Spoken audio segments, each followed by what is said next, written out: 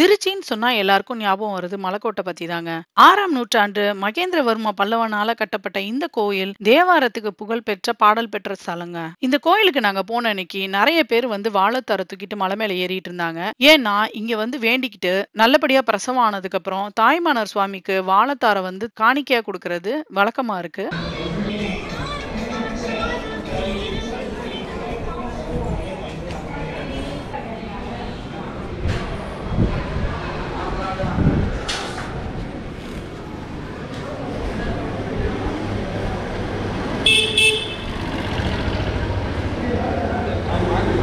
இப்போ நீங்க பார்க்குற இதுதாங்க யானை மண்டபம். இங்கே தான் வந்து மலை மேலே ஏறுறதுக்கு டிக்கெட் கொடுப்பாங்க அங்கே டிக்கெட் வாங்கிட்டு கேமரா எடுத்துட்டு போறோம்னா, அதுக்கும் டிக்கெட் வாங்கிட்டு மேலே ஏற ஆரம்பிக்கணும்.